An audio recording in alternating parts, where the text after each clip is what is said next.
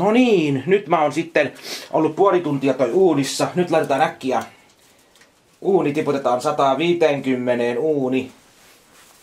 Otetaan uunista pois toi just tämä.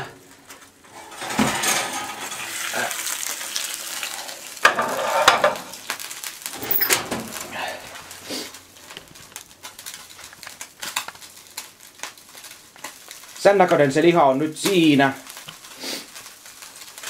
Siinä on se liha sitten ja saatte nähdä mitä täällä tapahtuu. Tässä mulla on nyt kaikki ne perunat ja kaikki porkkanat ja kaikki perunat ja lihat. Niin nää nyt sitten tänne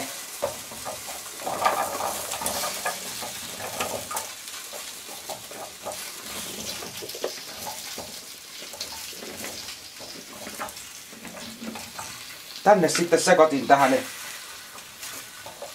lihan ympärille. Tällä tähän lihan ympärille ne perunat ja nämä tähän näin.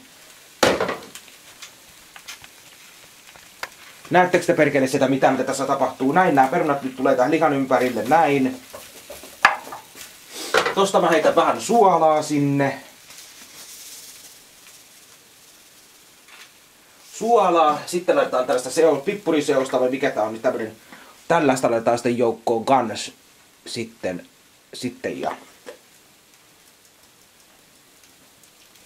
makua antamaan tänne lihoille ja perunalle sitten. Näin.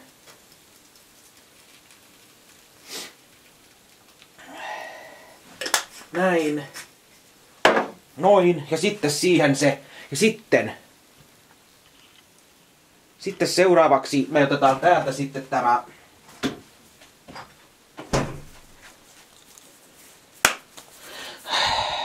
aura ja vippurisekoitus kermaideset. Ja nämä laitetaan sitten tänne ensin, vaikka ihan sama kummassa järjestyksessä nämä avataan tänne ja laitetaan nämä kermat tänne sitten. Sitten ei sillä kai ole väliä, että kumpi tulee ensiksi, tuleeko pippurisekoitus ensiksi vai tuleeko aurajuusto ensiksi. Niin näin vaan tänne sitten.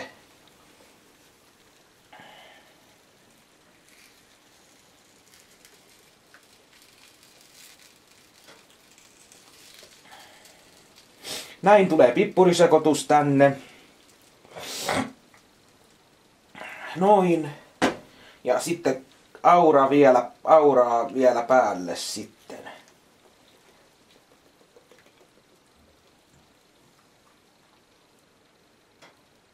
Näin. Näin se toimii. Kiitos lahjoituksesta, perunasta, porkkanasta, sipulista ja lihasta ja vähän valkosipulia tuohon tuli ostettua ja sitten kävin ostaa nämä kermat tähän, kermat tähän hommaan sitten, että sain nämä kermat kävin tuosta nappaamassa kermat kyytiin. Noin. Ne on siinä. Sitten ei kun uuni on nyt jo laitettu, uuni on laitettu nytten sataan.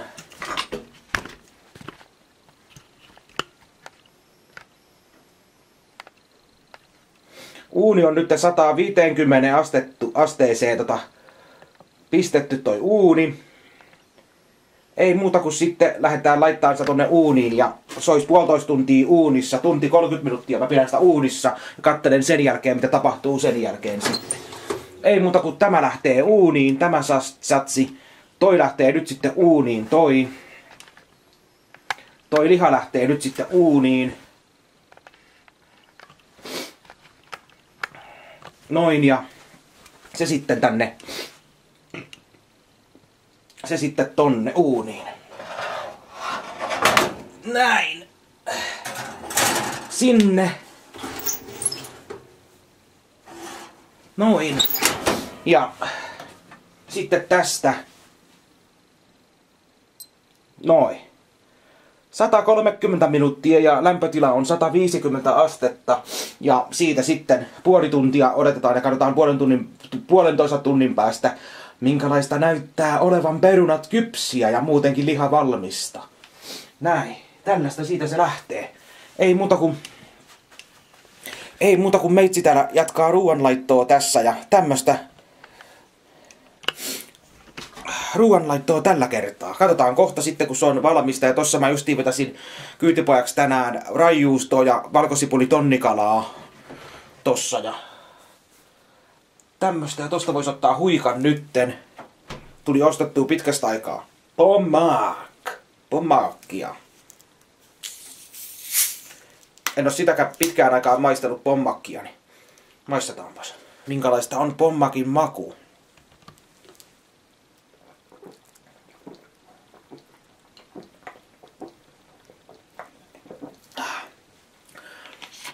On se vaan hyvää pommakki. On tää. Ei makea. Ei makea. Kyllä. Kyllä pommakki on 5 kautta 5. Ei mitään sanomista pommakista. Joo, nyt odotetaan puolitoista tuntia ja katsotaan sen jälkeen sitten, miltä, miltä ruoka näyttää puolentoista tunnin päästä. Näihin kuviin, näihin tunnelmiin, tällaista ruoanlaittoa tällä kertaa. Kohta on ruoka valmista.